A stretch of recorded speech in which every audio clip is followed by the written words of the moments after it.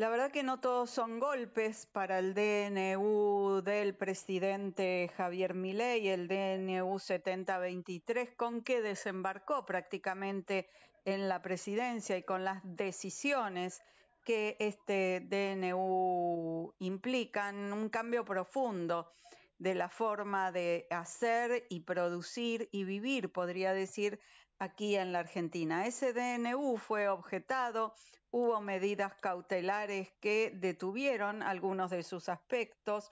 Una de las objeciones vino por el gobierno de La Rioja, por el gobernador Quintela. Otra de las objeciones la hizo un abogado, expresidente del Colegio de Abogados, el doctor Jorge Rizo.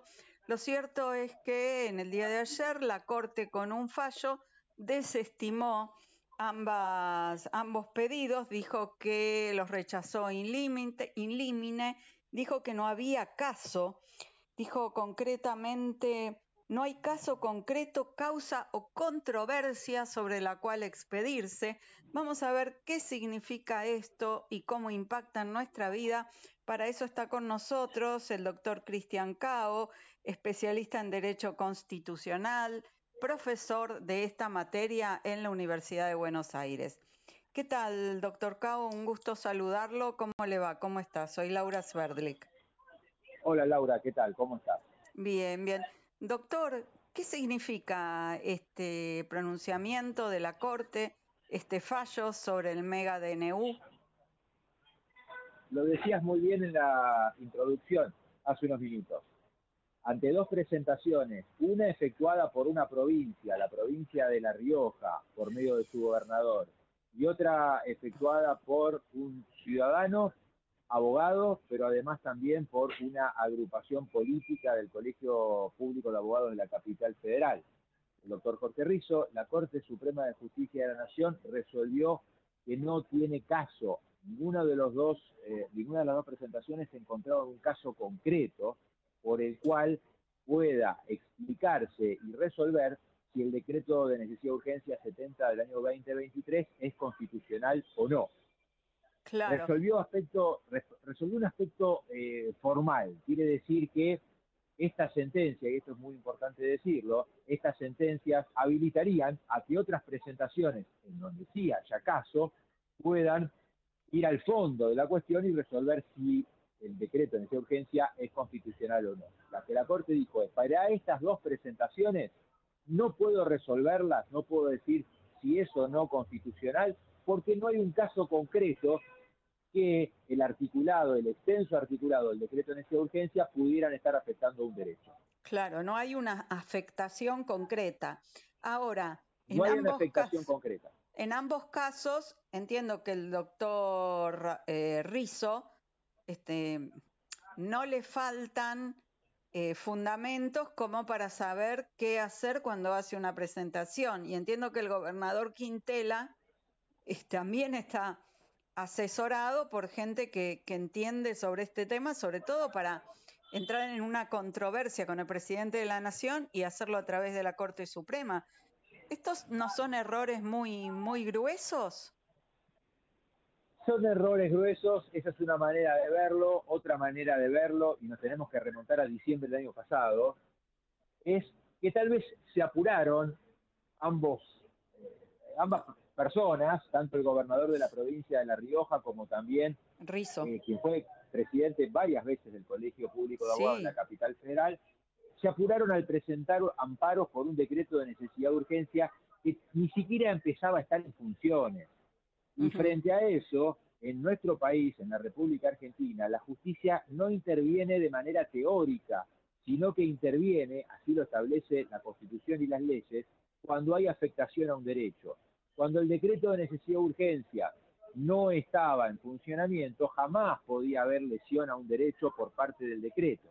Y por lo tanto eso fue lo que resolvió la Corte Suprema de Justicia de Nación diciendo, en ninguno de estos casos ustedes dos, provincia de La Rioja y ciudadano Jorge Rizzo, no tienen una afectación al derecho, por lo tanto no tienen caso. Por lo tanto, no ahondo a analizar si el decreto es o no constitucional.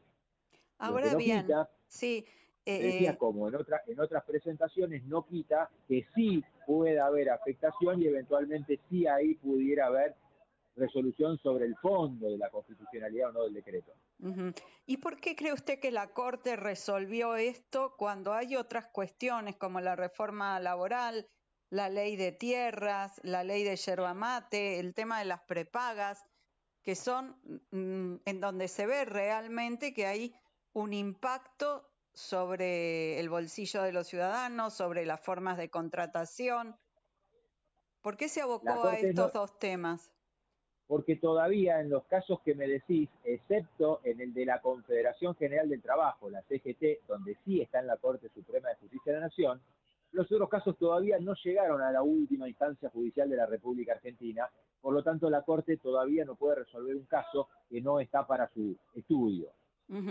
Sí, el de la Confederación General de Trabajo, ese caso sí está para resolver, pero la Corte optó evidentemente por resolver primeramente los casos en donde no había caso. Todo parece indicar que en algún momento la Corte sí va a resolver eh, en el caso de la CGT, porque ahí en principio sí habría caso, pero también, Laura, lo que tenemos que recordar es que primeramente debe la política resolver este asunto y es la Cámara de Diputados de la Nación analizar si valida o no el decreto de necesidad urgencia. Recordemos que ya el Senado resolvió eh, rechazarlo, exactamente, y según nuestra legislación, solamente si las dos cámaras rechazan el decreto, el decreto deja de tener vigencia.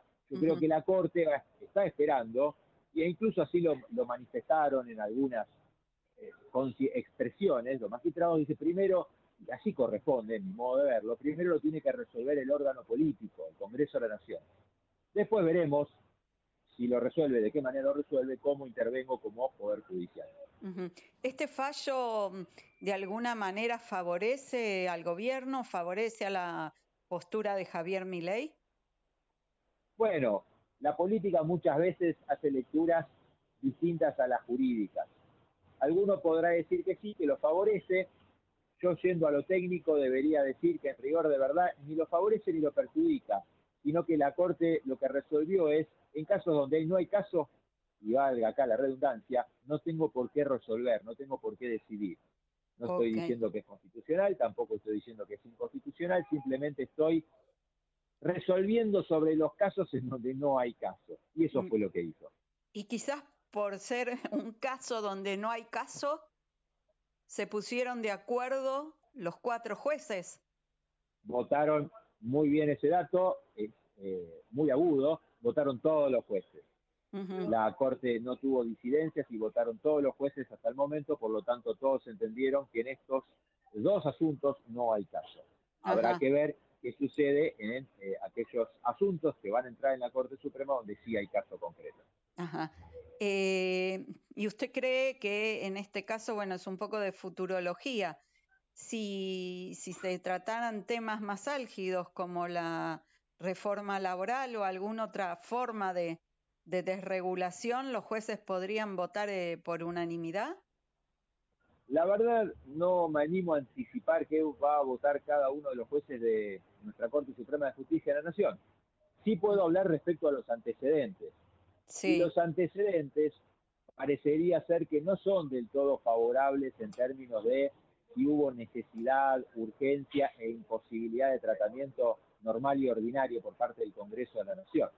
Quiere decir que salvo que la Corte Suprema agregue nuevos argumentos, innove en la materia, si nos retrotraemos a los antecedentes, a lo que se denomina la jurisprudencia, parecería ser que tiene mucho para decir la Corte eh, en materia de no avalar la constitucionalidad de este decreto de urgencia, pero estoy haciendo eh, especulaciones en base a los antecedentes. Podría ser que la Corte agregue otros argumentos y que su solución sea distinta. entiendo. Bueno, de todas formas, este tema parece que va a ser tratado en el Congreso, así que por ahí resulta innecesario que la Corte se, se manifieste sobre el tema si es que el Congreso avanza, ¿no? Obviamente, si la Corte Suprema de Justicia de la Nación advierte que el Congreso de la Nación, Cámara de Diputados en concreto, no avala y por lo tanto el Congreso, el, decreto de urgencia deja de tener vigencia, la Corte puede declarar la situación abstracta y por lo tanto no resolver, porque ya no habría decreto por el cual eh, manifestar sobre su constitucionalidad o no. Muchas gracias, doctor Cristian Cao, por habernos explicado todo esto en un lenguaje fácil, sencillo, para que los que somos neófitos en la materia podamos entenderlo. Muchas gracias. Gracias a vos, Laura. Chao, hasta la próxima.